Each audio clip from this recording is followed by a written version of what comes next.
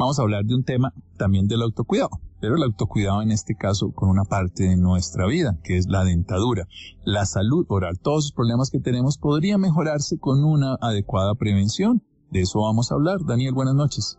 Buenas noches Santiago y buenas noches a toda la audiencia de Sanamente. De acuerdo al Estudio Nacional de Salud Vocal del Ministerio de Salud y Protección Social, en Colombia el 91,58% de las personas entre 2 y 79 años han presentado en algún momento de su vida caries dental. A esto se suma que el 70,4% de las personas adultas en el país han perdido algún diente a lo largo de su vida. Como usted lo menciona Santiago, el autocuidado en la salud oral es un factor importante para nuestra salud y para tratar este tema tenemos al odontólogo y subgerente de codontólogos Stephen Colas. Doctor Stephen, buenas noches. Daniel, buenas noches, ¿cómo está? Bien, gracias. Doctor, ¿por qué es importante tener una buena salud oral? Bueno, la salud oral hace parte de la salud integral del, del ser humano. Eh, todos los alimentos entran por la boca y adicionalmente a nivel estético, los dientes son el, uno de los puntos visuales después de los ojos, en los cuales las personas cuando se interrelacionan eh, fijan su atención. Eh, los dientes eh, son órganos vivos, son órganos que eh, hoy en día eh, buscamos que estén toda la vida en boca y que permitan eh, hacer unas adecuadas funciones de masticación, fonación estética. Doctor, en ese sentido, ¿qué problemas se previenen con un buen cuidado bucal? Bueno, lo más importante es asistir regularmente al odontólogo. Esto permite que de alguna manera también se oriente el cuidado bucal desde el cepillado. generalmente todo el mundo se cepilla, pero eventualmente eh, no todo el mundo lo hace bien. De ahí la importancia que una persona, un profesional especializado, eh, los oriente sobre la forma como deben cepillarse y adicionalmente sobre el uso de otros elementos que favorecen la higiene oral como una buena crema dental, el uso de seda dental y algunos cepillos especiales que se llaman cepillos interproximales que permiten llegar a los sitios donde regularmente no llega el cepillo. Eh, otro factor fundamental y que es de vital importancia es eh, los buenos hábitos alimenticios. Hay alimentos que favorecen eh, el esmalte de los dientes y favorecen también el tejido óseo que está sosteniendo los dientes. Eh, la buena alimentación eh, de la mano de una buena higiene oral y la visita regularmente al odontólogo eh, permite que los dientes estén en muy buenas condiciones y durante mucho más tiempo. ¿Las personas con mal aliento pueden recuperar su aliento fresco? Claro, una de las manifestaciones de las enfermedades en la cavidad oral es precisamente el mal aliento. El mal aliento básicamente obedece a que en la boca existe una serie de, de flora eh, que es normal, pero que sin embargo cuando entra en contacto con los alimentos desarrolla una serie de ácidos que son los que producen precisamente la caries. Una manifestación de la presencia de estos ácidos es el, es el mal aliento. Por eso es muy importante y nosotros como odontólogos eh, recomendamos eh, que el cepillado se haga por lo menos tres veces al día y en lo posible después de ingerir alimentos.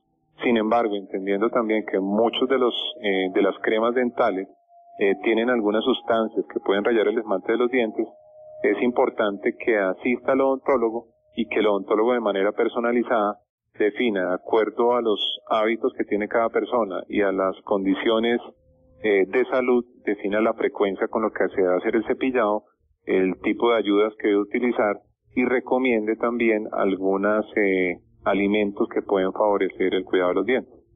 Existen algunas personas que al pasar aire por su boca, pues le sale un, un mal olor o un mal aliento. Eh, ¿Limpiar la lengua ayuda en verdad a combatir este mal aliento? En la boca definitivamente es un reservorio para todo tipo de, de microorganismos. Algunos microorganismos son buenos y son los que protegen precisamente la, la cavidad oral y otros microorganismos son los que generan eh, las enfermedades. Enfermedades como la caries y la enfermedad de las encías tiene su origen precisamente en microorganismos que se esconden en la lengua, en las encías. De ahí la importancia que durante el cepillado se establezca una secuencia para que no se deje sin cepillar ninguno de los dientes, ninguna de sus caras, pero por otro lado, algo que usted menciona, Daniel, en lo cual tiene mucha razón, es que la lengua eh, es importante que se cepille porque del buen cuidado y de la limpieza que tenga la lengua también depende que no se vaya a generar problemas no solamente de mal aliento, sino problemas a nivel de las encías y caries dental. Yo como paciente eh, detecto en el, en el diario de mis cepillados, veo alguna vez que se me inflaman las encías. En ese caso, ¿qué estaría presentando con esa, con ese defecto, por decir así? Ok. Eh, una, de las manifestaciones de enfermedad en los dientes y específicamente en las encías es el sangrado a la hora de cepillarse. Es frecuente que algunas personas en algún momento de su vida, durante el cepillado, experimenten eh, la presencia de algún rastro de sangre, eh, lo cual indica que se presenta precisamente la inflamación de las encías. Los restos alimenticios y algunas sustancias que van dejando eh, la comida entre la encía y el diente van generando que al ser este un tejido tan sensible se inflame. Al inflamarse eh, ese tejido comienza a sangrar eh, y posteriormente en una etapa más avanzada, si esto no se controla, pueden llegar a aflojar y a perder los dientes. Eh, nosotros en Contólogos tenemos desarrollado un protocolo en el cual hacemos la identificación temprana de ese tipo de problemas a través de ayudas diagnósticas. Hoy en día no solamente utilizamos radiografías, sino también tomografías y otra serie de exámenes que permiten establecer la situación real del diente. Eh, es un motivo para alarmarse el hecho que se presente sangrado, se presente eh, alguna molestia de pronto al cepillarse, porque nos indica que el diente que soporta el diente, el hueso, perdón, que soporta el diente se está perdiendo y que de alguna manera ese diente eh, tiende a aflojar. Hablemos un poco sobre las personas que, que tienen brackets. Estas personas eh, por lo general tienen que estar en constante tratamiento y en constante control. ¿Cuál es la importancia de una buena eh, higiene oral con, con las personas que tienen brackets? Es importantísima. El hecho de que una persona tenga brackets, eh, son cuerpos extraños que están cumpliendo una función y que obviamente están generando un beneficio. Pero sin embargo, pues también dificultan la higiene oral y favorecen el que los alimentos se queden retenidos en esos mismos elementos. De ahí que durante el, eh, incluso la primera consulta de ortodoncia y durante lo que nosotros llamamos el montaje, al paciente se le dan una serie de indicaciones y se le entrega un kit de ortodoncia donde existen una serie de ayudas que van a permitir el cepillado eh, de los brackets, de los dientes y van a evitar que los restos de comida que de pronto se pueden ir quedando por la aparatología que se tiene en boca vayan generando los problemas que les mencionaba anteriormente. Adicionalmente también el eh, paciente que tiene brackets eh, puede ser más sensible a que genere problemas de caries por la misma presencia de estos elementos. De ahí que periódicamente también y dentro de los protocolos que, que manejamos, un paciente con ortodoncia semestralmente, o sea, cada seis meses va a tener una profilaxis para poder eliminar todos esos restos que eventualmente durante el cepillado normal no, no lo puede hacer.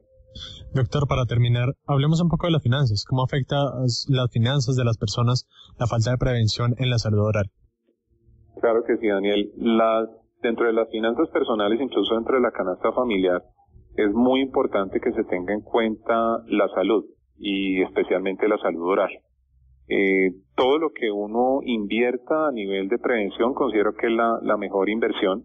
Hoy en día no solamente la prevención va dirigida a niños o personas menores, sino la prevención también va orientada a adultos en una edad temprana y adultos mayores eh, durante la visita oportuna periódica al odontólogo que, que nosotros eh, recomendamos, eh, se pueden identificar inconvenientes o problemas en una etapa temprana cuyas soluciones van a ser mucho más sencillas, menos agresivas y por supuesto menos costosas. Sin embargo, hay que tener en cuenta también que si ya se sospecha o se identifica que se tiene algún tipo de inconveniente en la cavidad oral o en los dientes, es el odontólogo quien podrá también establecer algún tipo de tratamiento que permita frenar el avance de la enfermedad. Recordemos que cualquier tipo de rehabilitación, eh, incluso muy bien hecha, eh, nunca va a ser igual a los dientes naturales. Por eso hay que cuidarlos mucho, hay que atesorarlos y dentro de la programación que uno tenga de sus, de sus gastos, es muy importante que siempre destine una parte para acudir a su odontólogo, para manejar todos los elementos de la higiene oral y para que de alguna manera periódicamente, eh, así sea para hacer una visita y que durante esa visita al odontólogo se encuentre que todo está marchando bien, eh, tenga la certeza y pueda llegar a una edad adulta avanzada con sus dientes en boca. El mito de que las personas mayores, eh, las personas eh, ancianas, están condenados a perder sus dientes, eso ya es del pasado. Hoy en día una persona adulta, adulta mayor, puede llegar perfectamente con sus dientes, lo que le va a dar una mejor calidad de vida. Doctor, ¿un teléfono de contacto donde las personas puedan acceder a sus servicios? Claro que sí. Nosotros nos encontramos en el PBX en Bogotá en el 606-2918. Eh, ahí atendemos en todas las clínicas odontológicas de odontólogos eh, que tenemos a lo largo de Bogotá y adicionalmente también en la ciudad de Cali, en la ciudad de Santa Marta, en la ciudad de Cartagena, donde habrá profesionales que estarán a su servicio y que harán parte de ese bienestar que queremos generar a nivel, eh, a nivel general en su salud oral. Bien, ahí tenemos al odontólogo y subgerente de odontólogos Stephen Colás. Doctor, muchísimas gracias por acompañarnos hoy en Sanamente. Bueno, Daniel, muchas gracias a ti y a tu audiencia.